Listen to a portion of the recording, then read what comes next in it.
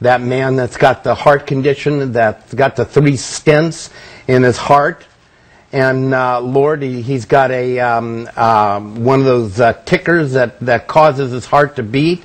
And Lord, uh, you're healing him right now, right now. Touch him right now by the power of God, by the power of God. Touch him right now.